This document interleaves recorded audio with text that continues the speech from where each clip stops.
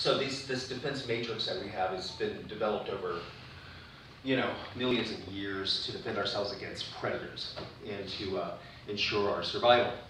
Um, and we have in our amygdala, uh, which is the basic part of the brain, uh, a trigger for perception of threat that then excites this defense response matrix.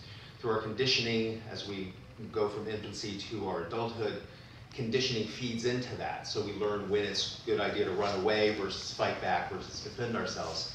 And it becomes a very complex system within the neural system of synapses and white and gray matter that connect all those things.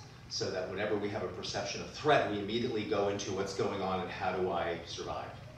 Even if it's minor threats, like uh, you did a bad report, lose my job, lose my food, lose my home, all that stuff, okay? Uh, but in Aikido, we find that this keeps us in fighting mind. So we have a fourth option that we want to cultivate, at least I want to cultivate in my Aikido, and that's a, an option where I don't have to go to the defense matrix, but I go to the love matrix. Okay, and love is really easy and it's really natural where we're in a place where people love us or also when we're in a place where there's need. Like if we see something hungry, we want to feed it. We see a little lost puppy, we want to take care of it. There's a part of us that goes into the love matrix by some triggers. Okay, but the brain is organized so that perception of threat doesn't easily get to the love matrix, and love things don't necessarily go to the defense matrix. We want to start bridging that gap through this misogi, through this process, so that we have the option of this entering the love matrix so that our response is not fighting, but blending, harmonizing, and producing some Aikido. So Corey, can I have you?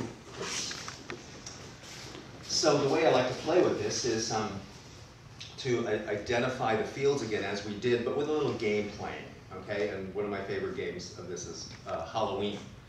I'm having a Halloween party, and this character shows up with this awful looking mask that's just horrible, and I have no idea who it is. And you're going to give me spirit energy like you want to come through the door. So if I look out through the peephole and go, oh my gosh, there's something really scary out there. We got to get everybody get out of here before he comes in here.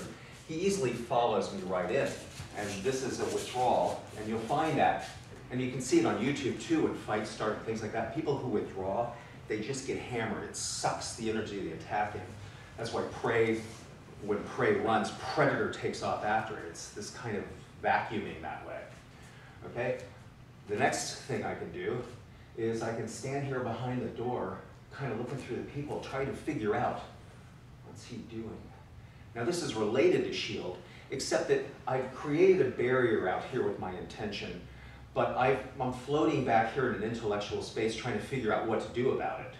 Okay? So it'd be like behind the door, going, is it, is it somebody I know? Hey, it's gotta be because they came in. Well, maybe it isn't, and, and all that stuff.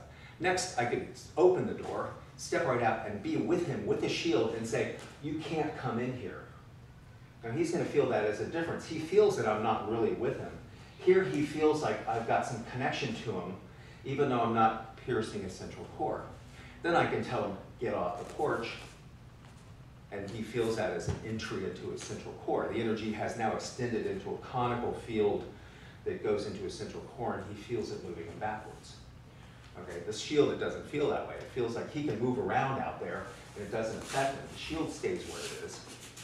But this is a defensive thing. Okay, last option is he can take off the mask and I can welcome him. Oh, it's Corey, how are you? Okay, and we see that Aikido flows out of that really naturally. Whereas if he gives me a spear and I give him a spear, we can get an Aiki, right?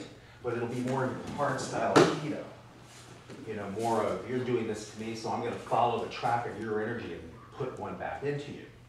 Okay, so he feels that as being thrown. And what I really want in my applications off the mat is for my partner to not feel like he has anything, he doesn't hold anything against me. He doesn't feel like he got thrown. You feel more like I'm taking care of you. I yes, yes. That's what I want my partner to feel when the thing is over, that he doesn't remember why there was even a reason to attack. Okay, so let's play with that game a little bit, get a partner, and just for the heck of it, fun of it, you don't have to go through all four of them if you don't want, but play with it a little, go, oh, I don't, oh gosh, here he comes. And then, let's see, who is that? Now his, his, uh, pro, his part of his process is to keep the spear energy on me. Okay, keep trying to get through the door. Okay, but it isn't going to be like this, because that's going to be overwhelming to his system. He's going to have a hard time finding that final outcome if he's if it's triggered so hard. So I'm just going to give him a nice steady stream in here. Okay, and we can just say, what's your default? Uh, I'm somewhat disengaged right now, but. uh, So it's a little bit of a wall here. There's a shield here. I can't get through this. But at the same time, he's not interacting with me in any way, so I can come right up against it and all this.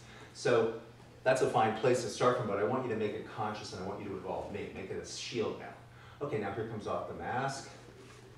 And there you see withdrawal.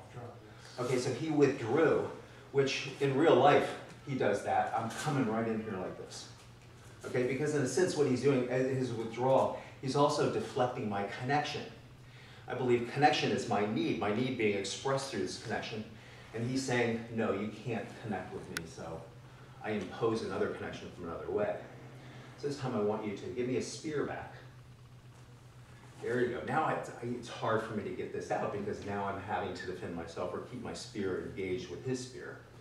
Okay, now I want you, here comes off the mask. Nice. So you see, I didn't change anything about what I was doing, but he shifted his, his intention and all of a sudden Aikido happened without a prescribed technique. So let's play around with that. Thanks.